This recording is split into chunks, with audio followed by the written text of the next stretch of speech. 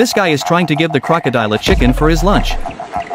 The crocodile seems not happy and start chasing the guy and tried to bite him. The guy move very fast but he almost fall back into the water. His friend ran straight away to stop and save him and finally the crocodile was stopped chasing the guy.